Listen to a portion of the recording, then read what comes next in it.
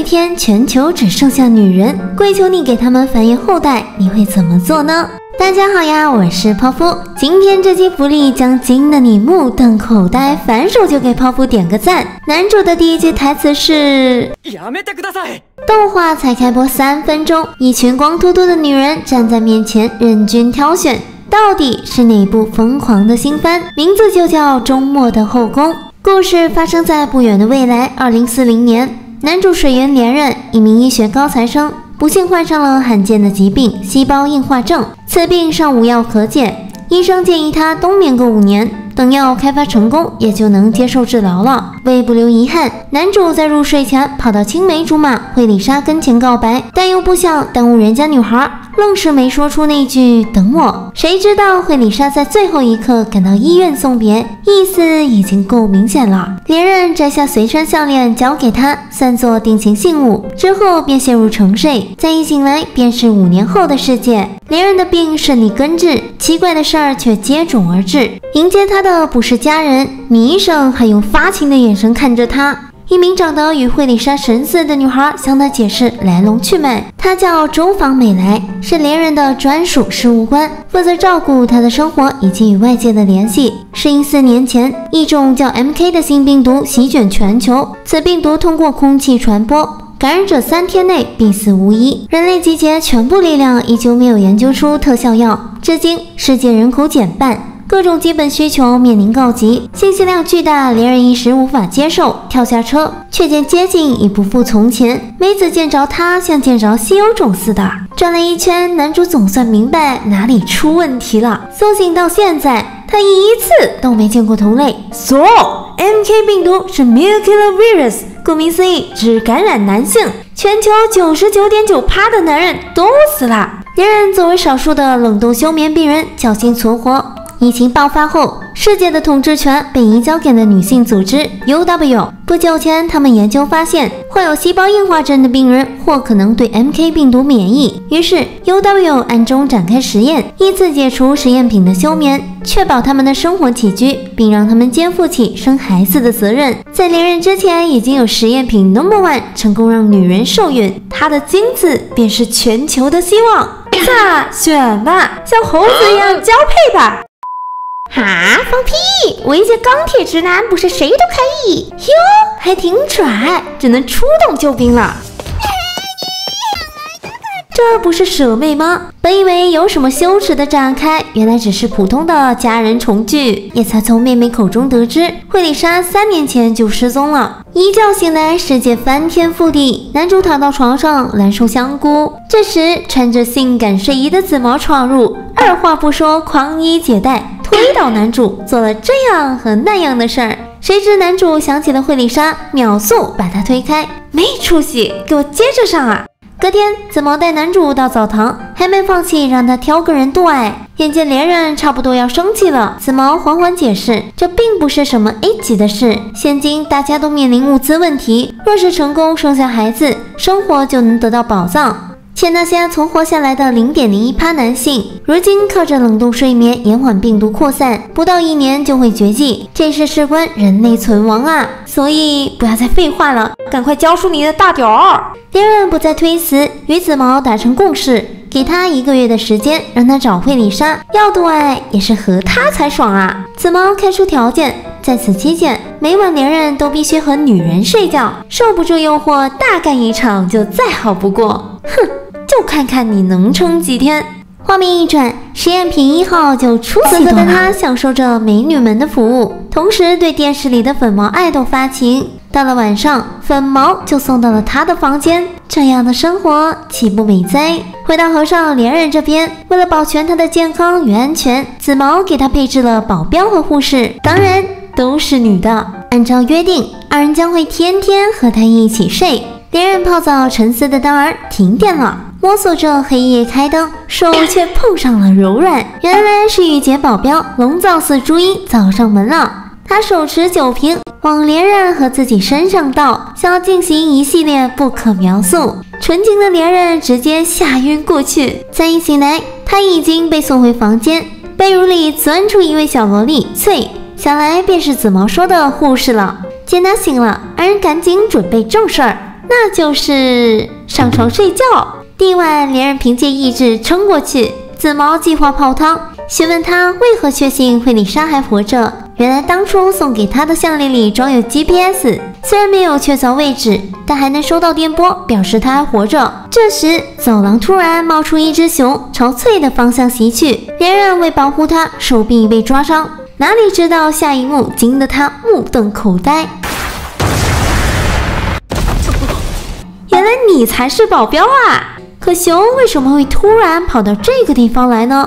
在连人的要求下，紫毛把他带到惠里莎曾经的实验室。在惠里莎消失后，这里曾被人侵入，MK 病毒的研究资料全部被带走。散落在地上的合照惊起了回忆。想当初，二人是为了救一只狗才决定当医生的。连人不忘初心。决定要由他来做出 MK 病毒的特效药，与其单做个种马，还不如花点时间在研究上。为此，他不惧向全世界透露身份，背负被全球女性侵犯的风险，成为人类的希望。很快，遍地新闻播报布满了他的宣言。与此同时，连人从惠丽莎的实验室翻出影带，发现了恐怖的真相。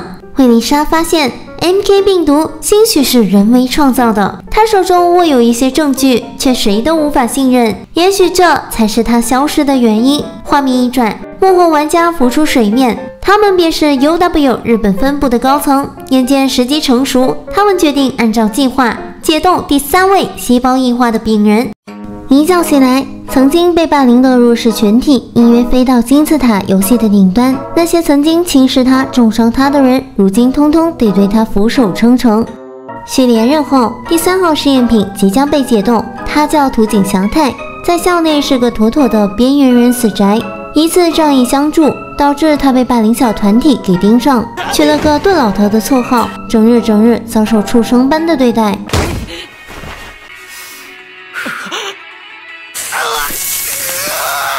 同学们冷眼旁观，唯一的慰藉就是温柔的钢琴老师柚子。日子已经够不幸了，没想到这天他竟被诊断患上了细胞硬化症。休学的前一天，在校内不经意目睹别人的野战现场，小混混上前将他踹翻，吐了口沫，还取笑他是个童真。怨恨在心中积累。进入睡眠的前一刻，祥太只希望睁眼醒来，世界可以变得更美好。五年后，迎接他的是位美女事务官花莲。据他所述，全球只剩他一男的。为不让病情扩散，活动范围也仅限宿舍和学校。在花莲的指引下，祥太与柚子老师重逢。为了安抚他的情绪，老师约他今晚到房里促膝长谈。祥太一时赴约，却见老师一身性感蕾丝，聊了几句便将他扑倒，一夜干柴烈火。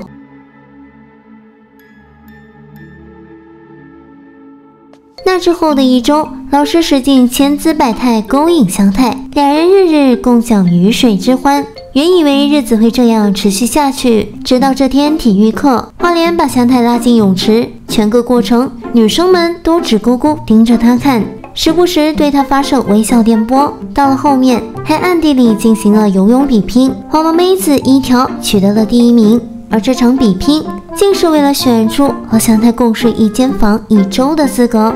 接下来每周还会换人上，更奇葩的还在后头。一条贵为大小姐，需要祥太的帮助才能换衣服，日日都要这么养眼吗？到了第二晚，一条主动爬上他的床，两人聊起心事，都认为新世界更美好。接着便顺势接吻度爱，祥太也开启了自己的渣男之旅。画面一转，回到男主连任这边，继上次向全球公开表态后。他成为了热门话题，每天都有不少女生上门要见君一面。连任一如既往拒绝了周防的媒体要求，而实验品一号早已遥遥领先，孩子都快出生了。香太这边出了轨，转头就向老师道歉，可老师竟表示香太是大家的。香太随即找向花莲问个清楚，他也不再隐瞒，说出真相。这所学校是专门为他打造的实验场地。目的就是留下遗传因子，避免人类灭亡。校内聚集的女生经过严格筛选，都对他有兴趣。怀了孩子还会获得生活保障，并不存在非人权的统治。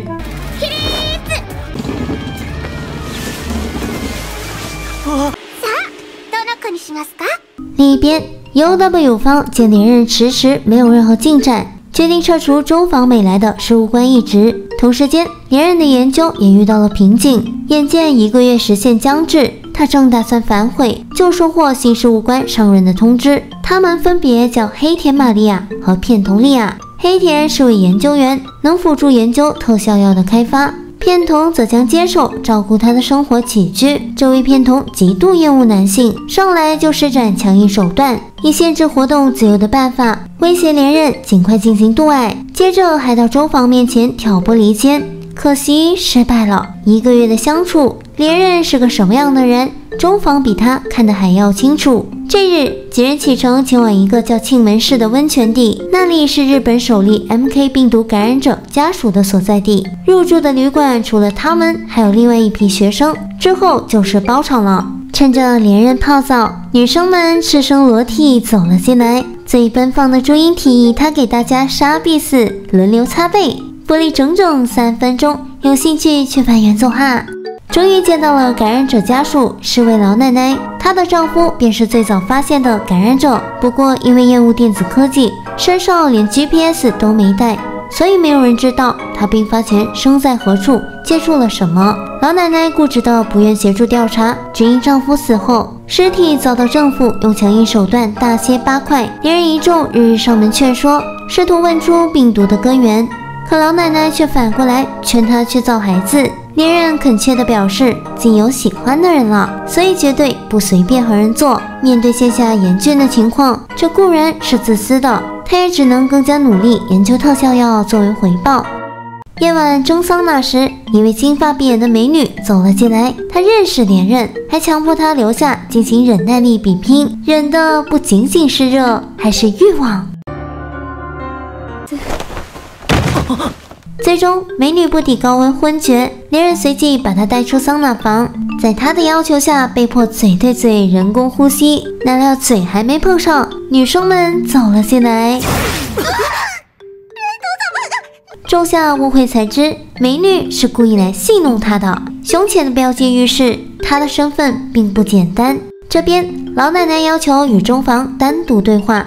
他想知道别人眼中的连任究竟是个什么样的人。周芳表示，他的所作所为很任性，但也不是光靠一张嘴就能做到。他压制性欲，不仅与全世界对立，也要贯彻意愿，不禁让人开始信服他能够拯救世界。老奶奶随即再问连任，是不是以后都坚决不度爱？连任说，情况所迫，他还是会为人民造福，但他的心意不会改变。意志坚定，能屈能伸，能成大人耶。这番话让老奶奶忆起了惠丽莎。其实他们私下一直保持联络。老奶奶劝她回去抢男人，给出的答复如出一辙。老奶奶终于服软，承诺下次会透露线索。然而就在隔天，她的病情突然恶化，进入昏迷状态。唯一留下的就是她与老公的合照。这幅合照暗藏玄机，与连任的 AI 手表互为钥匙。他瞒过所有人，打开资料，里面竟是 MK 病毒乃人为制造的证据，部分资料还有待修复。事后，连人随同黑田来到触及 MK 病毒的首家医院勘察，这里已形同废墟，且又是难民区，看来 UW 只把专注点置放在中央地区。另一边，林一找上片桐，揭露恐怖真相。他检查了病历和记录，老奶奶是被人下毒的。他怀疑凶手就是没有不在场证明的片桐，可片桐矢口否认。他最终也没问出什么。这边连任试图向黑田套话，这才知道 MK 病毒的研究之所以进行得如此缓慢，是因为上头吩咐要把资源着重于粮食生产，且大部分的研究精英都去了 UW 在美国的总部。这时，实验品一号的事务官找上连任，有事相求。原来一号竟对他的妹妹一见钟情，想和他度爱，真宙自然不愿。还得哥哥出面婉拒，可一号苦苦哀求，显得非常正直。善良的连任最终还是答应助他一臂。这边 UW 高层给连任安排了新任务，因为物资短缺的问题，难民区经常发生暴乱。连任亲自到场发放物资，安抚的同时又能鼓舞人心。趁着连任洗澡时，朱茵和黑田一起闯了进来，通知连任他被盯上了。现下只有这种方式才能躲过监控。朱茵这才揭露，UW 日本分部的首领鬼原是他的母亲。近几年，病毒研究者们一个个消失，背后的势力无人知晓。但连任选择公开宣誓，便是公然与他们为敌，将杀身之祸引上身。话题被中途闯入的片童截断。次日，连任到难民区发放物资，过程中险些遭到暗杀，所幸片童事先备好秘密警队，解决了狙击手。这又是怎么回事呢？实际上，片头喜欢周防，拼命保住连任的命，只因不愿喜欢的人伤心。在连任的帮助下，一号与妹妹见上面，可妹妹显然对种马没有半点兴趣，中途走人。新世界里初次尝到败北的滋味，激起了一号的不服输与好奇心。这边连任一众到秘密基地会合，在连任的提议下。黑田尝试运用黑网联系远在美国的研究友人，希望从他们那得到一些病毒的最新数据。没想到这一查，竟查出了端倪。翻查记录，所有本该在美国的研究友人，全都住进了废弃的庆门市医院。连人生出了可怕的推断：MK 病毒说不定就是在这间医院里制造的。他们决定再去一趟医院，展开搜查。上集中，祥太得知了学校是为他打造的后宫后，一时没有办法消化，对 A 级也产生了抗拒。花莲继续推进任务，在班上举办抽奖，大奖是能和祥太同床共枕。一周过去，妹子也该换人了。得奖者是名辣妹，也是祥太最不擅长应付的类型。她把祥太带到厕所里推倒，却让他回想起了当初被霸凌的片段，完全没有了兴致。香太一路逃到秘密基地。过去每次被欺负后难受委屈时，他就会躲进这里。这时红毛妹子闯了进来，她揭开上衣，身上有着无数深深浅浅的伤痕。没想到她竟也曾遭遇霸凌。同病相怜的二人说说着各自的悲惨遭遇，说着说着就开始相互抚慰。之后祥太把她带回房，准备干大事儿，却见辣妹在房内等候已久。女生们直接展开撕逼。祥太看着心烦，一个人跑到外面散心。现在的他只想见柚子老师一面。自上次出轨后，老师就像消失了一样，完全联系不上。正消沉的当晚，同班巨乳黑毛路过给予关心，他戏谑地说出要黑毛就地处一来安慰他。没成想，他真的照做了。次日，祥太心怀愧疚，找上黑毛为自己的卑劣行为道歉。可人家压根儿不介意，还把他骗进仓库，火急火燎的扑倒。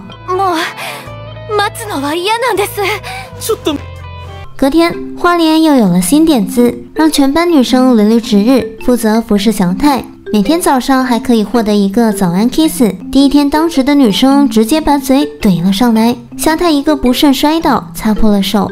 几人迅速把他送到医务室，不过是小伤，还要接受全身扫描。人类至宝可不能有任何损伤。祥太还发觉病床比一般的大了许多。正疑惑的当儿，三位女子在花莲的指示下走了进来，要给他一些照顾。四批真相画面不可描述。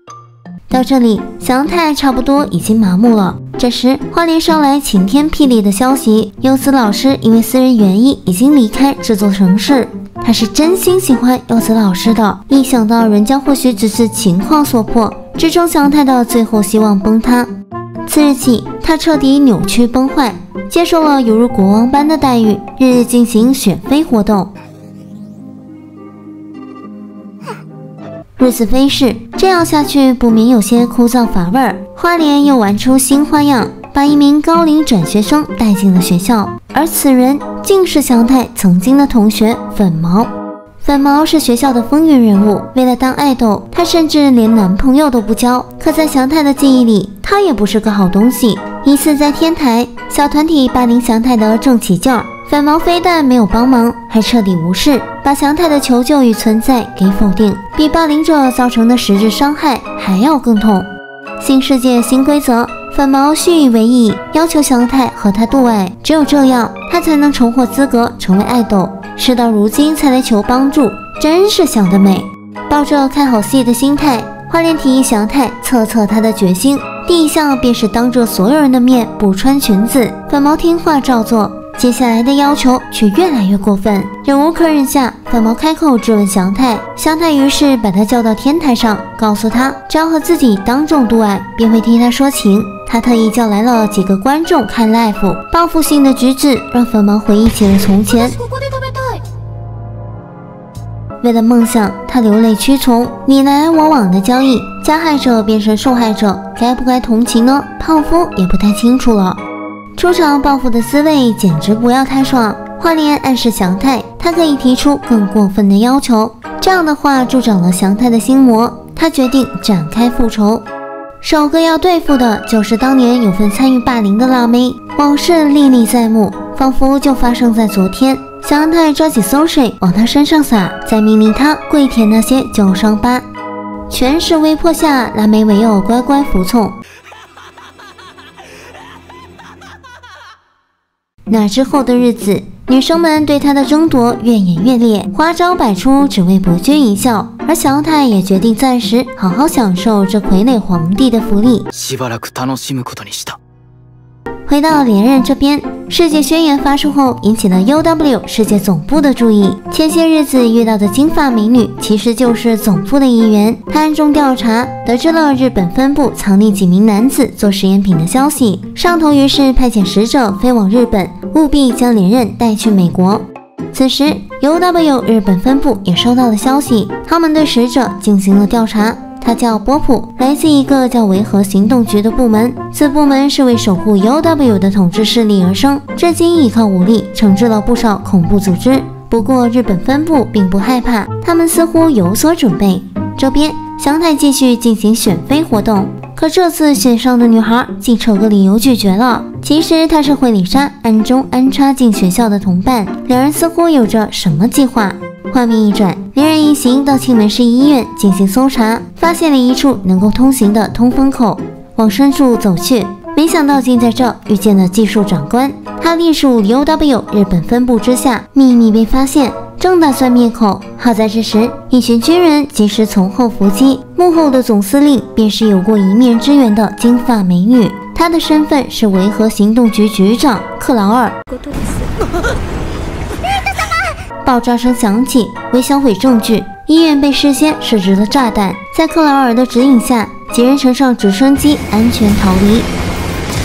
画面切换到学校，香太沉浸在乐园里无法自拔，每日变着新花样与女生们度爱，尺度之大已经不容黄标战士去形容了。同时间，副局长波普抵达日本分部，与高层们当面对质，揭露他们制造及散播 MK 病毒、无视总部的命令、不正当剥削日本市民等等的罪行。高层们不打自招，招来人想先下手为强，却被自己的部下反将一军，最终遭到逮捕拘禁。克劳尔向众人透露外面世界的情况，疾病导致贫富差距悬殊，各地频发恐怖活动。此时，唯一的男性出现却被控管起来，加剧了人们对 UW 不满的情绪。事件持续发酵。最意想不到的是，向来崇尚和平的惠丽莎竟也加入了恐怖组织。此时，学校突发爆炸，香太生死未卜。而另一边，未解冻的实验品四号被恐怖组织给掳走了。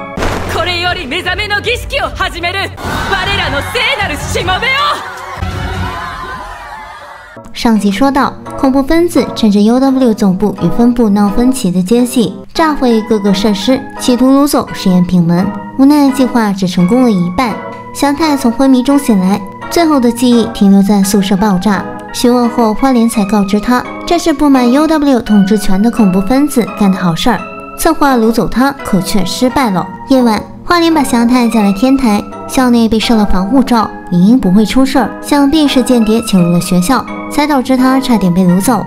花莲问祥太，明明很讨厌黄毛辣妹，可爆炸发生的时候，他却舍命护住她。祥太表示那是反射性动作，这不更证明他是个温柔的人吗？如今 UW 本部派来使者，日本分部陷入一片混乱。花莲邀请祥太和他一起去东京，指导虎穴，掌握主导权。也是这时，他才把真相告诉祥太，除了他以外。其实还有四名男性存活于世上，此话让祥太危机感倍增。花里安的夙愿是想成为世界上最伟大的人，为此需要祥太成为世界第一的男性。两人利害关系一致，决定携手合作。掳走祥太的计划宣告失败，潜伏在校内的间谍女准备撤离学校，以担心实验品再被掳走为由，日本分部的高层让连人一行即刻返回东京。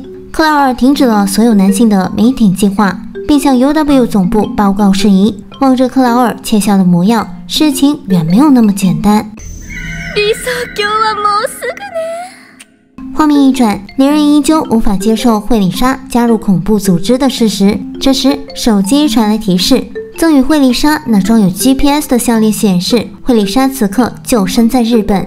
正疑惑的当儿，朱茵夜半找上门，他告诉连任，母亲鬼原因为制造 MK 病毒的罪名遭到审判。可据对母亲的了解，他断不会做出这种事儿。当年为了拯救因疾病爆发而陷入混乱的国家，他甚至没有参加亲生儿子的丧礼，导致一家人关系决裂。连任提议他与母亲面对面谈谈。就在这时，黑田来报，恐怖分子占据了媒体做线上直播。惠丽莎领头自我介绍，他们的组织叫伊邪那美，身边是引人苏醒的四号实验品。掳走他的目的是要让世人亲眼见证 UW 有意隐瞒，世上并不止连人一位男性。此外，他们还掌握了 UW 的罪证。某国的废弃工厂找到了大量人工卫星的残骸，里面检测出高浓度的人造 MK 病毒。而工厂的社长正是如今 UW 本部的领导人之一。在美国，UW 正秘密推行着禁用女性的遗传因子造孩的计划。他们真正要的是创造只有女人的世界。为不让他们得逞，伊邪那美呼吁全球女性奋起反抗。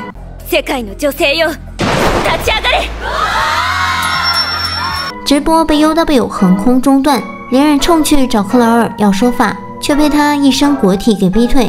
克劳尔与 UW 总部联系上，对话中得知，通过资讯管制，直播仅在日本流出，影响不大。且他们已经完成对大部分女性的思想洗净，距离理想乡又更进一步了。连人越发察觉事态不对劲，朱茵提议找个机会逃走，去见惠里莎一面。本想进房西谈，却见里面来了两位不速之客。はじめまして、僕はナンバー3、土井翔太です。 出发前往东京前，花莲让祥太接受了年龄增长的手术，阔别从前懦弱的自己。新祥太就此诞生。他先后见了自己的竞争对手，隔天就要去与大 boss 克劳尔谈判。夜晚，连人叫来周房单独谈话，为避免被窃听，躲进了浴室。他要周房和大家一起逃离这里。周房脸色一沉，访问连任，不担心他会通报吗？连任露出无辜的笑颜，表示自己还真的没有想过。他是如此地信任这位事务官，而这却成了压垮周防的最后一根稻草。他痛哭着说自己不能走，随即陷入回忆。原来打小开始，他就被一群身穿白袍的人们洗脑式逼迫的观看连人的生活录像，一直到长大。这时，浴室门口被强硬撬开。来者是波普，要二人和他走一趟。他先后拘禁了朱茵和翠，现在还要对付周防，再命连任即刻搭上飞往美国的班机。谁知这时朱茵从后现身，波普迅速挟持住周防，哪料身后还有救兵，打败了波普，后宫团集体逃离原地。镜头一转，祥太与克劳尔正式见上面。花莲提出要进行交易，内容给观众留了个悬念。克劳尔表示会好好考虑，花莲继而提出要求，他要见三贤者，统治 UW 的幕后玩家们。此外，现在的 UW 分部群龙无首，宛若一盘散沙，让外国人统治又不一定能服众。花莲笑着自荐，他便是国务长官的不二人选。在片桐的带领下，连人与妹妹平安会合，他也安排好了出行的船，协助众人逃往国外，自己则留下和周防一起。临别一刻，连任和周防相互表达了感激之情，以朋友的拥抱阔别，约定以后一定会再见。之后，众人登上船，向着目的地台湾驶去。至于实验品一号，没有选择一起走，他留下太多遗传因子，舍不得抛下妻子们，倒也是个有情有义的家伙呀。这边失职的波普遭到严刑拷打，而回归大队的周防与片头也被带进了单独牢房。会被做些什么还是未知数。如此严峻的情况下，倒是有个人混得风生水起，那 那就是与 UW 学校的不明口头契约的祥太。现如今，只有他能够享受 Mating 计划。这天，花莲把他带到澡堂，里面有无数女性等着供他筛选，其中就有实验品一号曾经的囊中之物粉毛。最高だよこの世界はどの子にしますか数日后， 连人终于抵达台湾，与阔别许久的惠里莎重逢。第一季到这里告一段落，虽然打着肉的旗号，但剧情内容紧凑，挺好看的，不是吗？目前官方没有表示会出第二季，有兴趣知道后续的小伙伴可以去翻同名漫画来看哦。据泡芙所知，祥太之后不仅会当上总统，还会有五百多个孩子，真的可以说是精尽其用了。好啦，视频就到这吧，感谢收看，喜欢的家人们记得点赞、订阅、打开小铃铛，我们下期不见不散，爱你们哟！